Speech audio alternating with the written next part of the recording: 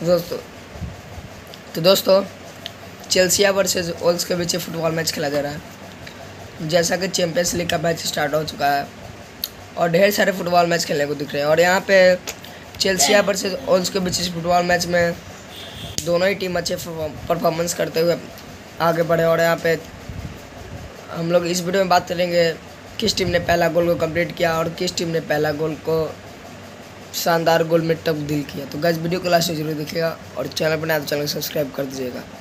तो गैस यहाँ पर चेल्सिया वर्ष वोल्स के बीच फुटबॉल मैच में चेल्सिया टीम ने भी शानदार परफॉर्मेंस करते हुए चीज़ की है और यहाँ पर वोल्स की टीम ने पहला गोल को कंप्लीट कर लिया जी हाँ दोस्तों।